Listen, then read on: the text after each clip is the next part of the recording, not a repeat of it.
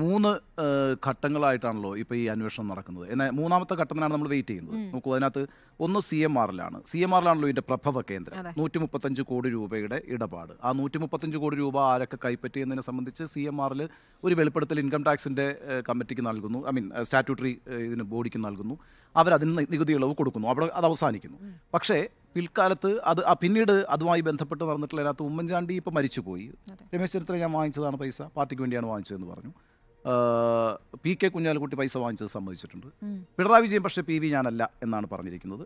C M ആറിൽ ഇപ്പോൾ അത് അന്വേഷിച്ചു. സി എം ആറിലെ ആദ്യത്തെ അന്വേഷണം കറക്റ്റാണ്. സി എം ആറിൽ തന്നെയാണ് ഇപ്പോൾ നികേഷ് സൂചിപ്പിച്ചതുപോലെ സി എം ആറിലാണ് അതിന്റെ പ്രഭവ കേന്ദ്രം. അവിടെ നിന്ന് തന്നെയാണ് അന്വേഷണം ആരംഭിക്കേണ്ടത്. അപ്പോൾ അതിന്റെ സ്ട്രക്ചർ കൃത്യമാണ്. അവിടെ നിന്ന് അവർ ആരംഭിക്കുമ്പം അവർക്ക് ഈ പറയുന്ന കണക്ക് K S I D D സിയിലേക്ക് വന്നേ പറ്റൂ. അതിന്റെ കാരണം എന്താണെന്ന് വെച്ചാൽ അതിനകത്ത് പതിമൂന്നര ശത- ശതമാനം ഓഹരി ഉണ്ട് എന്ന് പറയുമ്പോൾ അതൊരു പബ്ലിക് ലിമിറ്റഡ് കമ്പനിയാണ്. ആ പബ്ലിക് ലിമിറ്റഡ് കമ്പനിയിൽ ഡയറക്ടർ ബോർഡിലുള്ള ആളുകൾ അതിന്റെ എല്ലാ വരുമാനവും അതിന്റെ ചിലവും അറിഞ്ഞിരിക്കണം.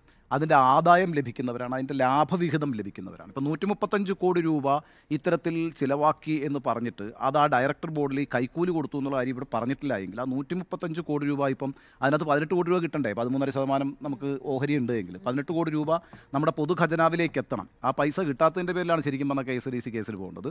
എന്നിട്ട് അതാണ് അതിനകത്ത് ഉയർത്തിപ്പിടിക്കേണ്ടത് അല്ല അതല്ല. അതും അപ്പോൾ അപ്പോൾ എന്തായാലും പിന്നെ കെ എസ് ഡി സി സ്വാഭാവികമായിട്ടും അതിന്റെ അടുത്ത അന്വേഷണ ഘട്ടത്തിലേക്ക് വരുന്ന രണ്ടാം ഘട്ടമാണത്. അതും അവർ പൂർത്തിയാക്കിയിട്ടുണ്ട്.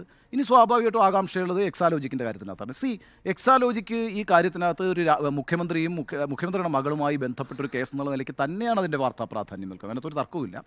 സി എം ആറിൽ എന്നാൽ അതിനേക്കാളും വളരെ സീരിയസ് ആയ കേസുമാണ്. സി എം ആറിന്റെ കേസ് അന്വേഷിക്കുന്നതിന്റെ ഭാഗമായി ഇതെല്ലാം വരട്ടെ. അപ്പോൾ സി എം ആറിൽ നിന്ന് ആരംഭിച്ച് ഇപ്പോൾ കെ എസ് ഐ ഡി സിയിൽ എത്തി നിൽക്കുന്ന കെ എസ് ഐ ഡി സിക്കും ഇക്കാര്യത്തിൽ കൃത്യമായ പങ്കുണ്ട്. അത് അവർ വിശദീകരിക്കേണ്ടി വരും. അതൊരു പൊതുമേഖല ഇപ്പോൾ ജനങ്ങളുടെ പൈസ എടുത്തിട്ട് നിൽക്കുന്ന ഒരു സ്ഥാപനമാണ്.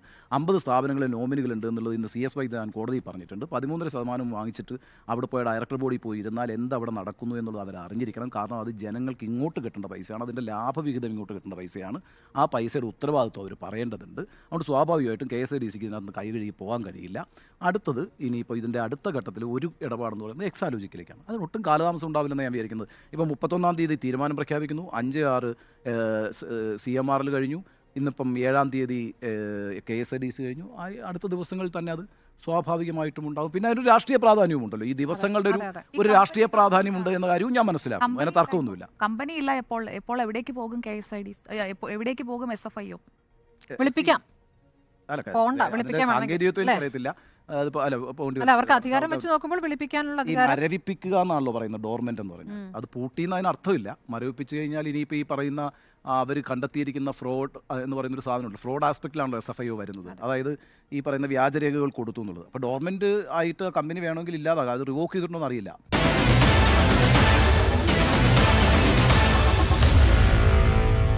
Meet the editors.